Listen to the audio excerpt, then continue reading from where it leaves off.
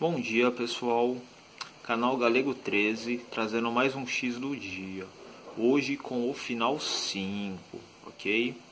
Não se esqueçam de deixar seu like no vídeo, se inscrever no canal. Então vamos lá. Para hoje temos o grupo 5, que é o grupo do cachorro, com as, com as dezenas 17, 18 e 19.